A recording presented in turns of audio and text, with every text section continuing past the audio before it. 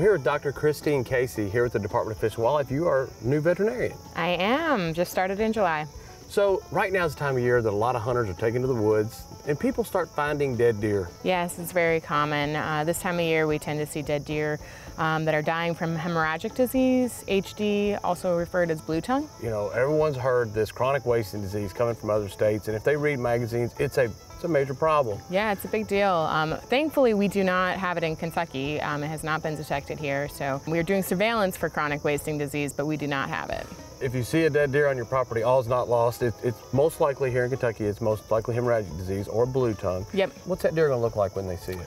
Um, well, they're typically found around water, either sick or dying. They can act neurologic, so lethargic, kind of stumbling, um, really slow. They don't really respond to human presence, um, so they just may act, don't care that you're there. Mm -hmm. And then if they're dead, they can look bloated or kind of swollen, blue. Now, the big difference between this particular disease and chronic wasting disease, which is in some of our states surrounding us, is that the chronic wasting disease is a disease that can really affect a lot of animals. They're caused by two different things. Mm -hmm. So hemorrhagic disease is a virus. Mm -hmm. um, chronic wasting disease is something called a prion, which is a type of protein that's mm-hmm. um, infectious.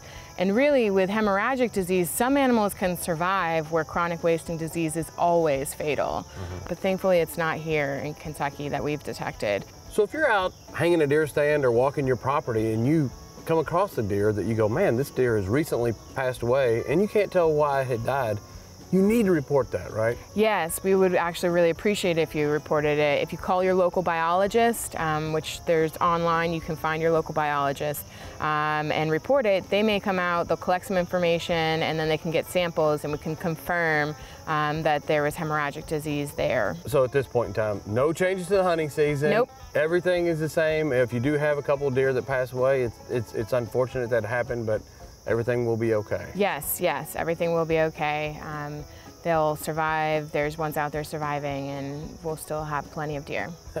well, thank you for your time. We appreciate no the explanation, Thanks. and uh, hopefully it uh, slows down. This disease slows down for a while. Yeah, hopefully. Thanks for having me. thank you.